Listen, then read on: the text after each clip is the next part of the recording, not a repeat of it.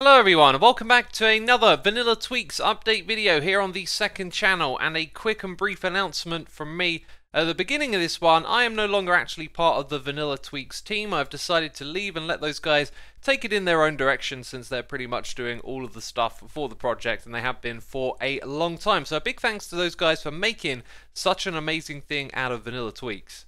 And in this video, I'm showing you all of the new resource packs that have been added over the last month or so. Pretty much all of them were made by Stridy, so a big thank you to you for adding these awesome additions to the game.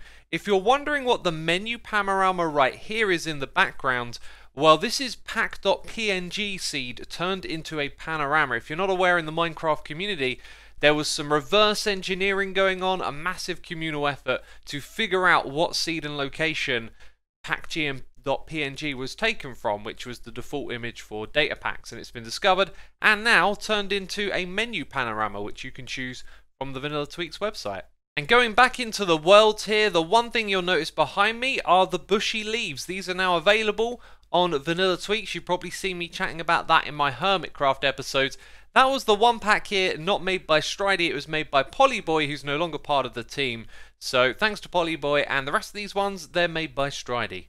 And the first five additions I'm going to show you are variated textures. I absolutely adore these. What they do is make subtle changes to the textures as you place them over and over again in the world so they look less repetitive when you stare at a flat wall like that. So for example if you focus on this bit and then look at it in the next block you can see it's slightly different and it just alleviates some of the repetition from building. This has been given to birch logs and I believe it might eventually end up on all the different types of log. We've also got endstone being added to this category so another texture that appears in large quantities naturally but now has some variations in them to spruce it up. And another really cool one here is the red mushrooms. As you can see, the dots and the amount of them kind of move around per block. I see one there with four in total.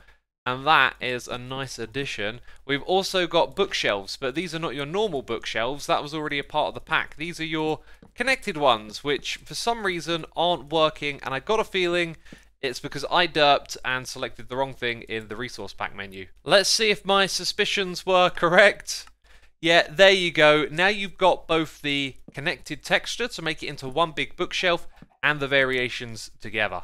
Next up, we got some animated campfires down here in the hotbar. These look absolutely fantastic. Normally those are of course static. And there are also icons for beds available. These got transformed into 3D models and previously they had icons like this which are available again. Now when you eat food in this game you get particle effects like so and that's been removed from the resource pack called Don't Eat the Bowl because the particle effects were simply the bowl itself which is the part you don't actually eat. We've also got end rods that now have a pink base, kind of like the neutral end rods. You've now got an option to change them to pink ones like this. In the world of PvP, there's now an option for short swords. The idea here being that when you hold it, it's taking up less of your screen when you're looking at your opponents and trying to hack them down. We've also got a flint arrow resource pack as well. So you can see the top of the arrow is now flint, which makes sense in comparison with the crafting recipe. If I shoot this thing, you can see on the bow, it's got flint at the end. And when we go and look at the arrow on the ground, if we just move that out of the way, it's actually sort of tricky to see. If I just use my brain a little bit here, we can see that the 3D model itself has the flint. There is also a utility resource pack for saplings. You see, they actually have two growth stages. And so if we go ahead and grow these with bone meal, you can see you get this second stage, twice as tall one right here, which just looks kind of funky in my opinion. But if you really wanted to see that, you'd be able to do so now. Another thing to point out is that it doesn't actually have like a hitbox, not a collision box, at the top area. And anyway, it gives you a hint that it'll be ready to grow into a tree. And did this bottle of enchanting look different to you? Well, it's normally got the regular shape of a bottle of enchanting, yet when you throw it, you throw it, right? So it makes sense that it would be like a splash potion. What is up with these funky looking doors, right? Well, doors can be transparent, you can look through them, and so there's now a resource pack that will add glass to them, and it's actually not compatible with a couple of other packs I've currently got equipped. I did think about this. There is a resource pack for changing the colour of jungle wood and the crimson wood. So if you wanted a different tone for the wood plank colours, they are available. The jungle log as well, you can see the inside has been treated. When you look at it here, it really does match the outside texture. And the same thing for the crimson stem. And also this applies to signs and boats as well. So you can have yourself a, a junglewood boat. And warped planks got a touch up as well. This is smoother warped planks, so the texture has been slightly smoothed out so it's easier on the eyes. And last of all, while we're in game here, before we switch to a different resource pack, I need to look up Enchanted Books, because I really like this one. Uh, as you'll see, they now have number levels instead of Roman numerals. So there is a resource pack for that. If you prefer seeing the number rather than Roman numeral, well, now you got that option.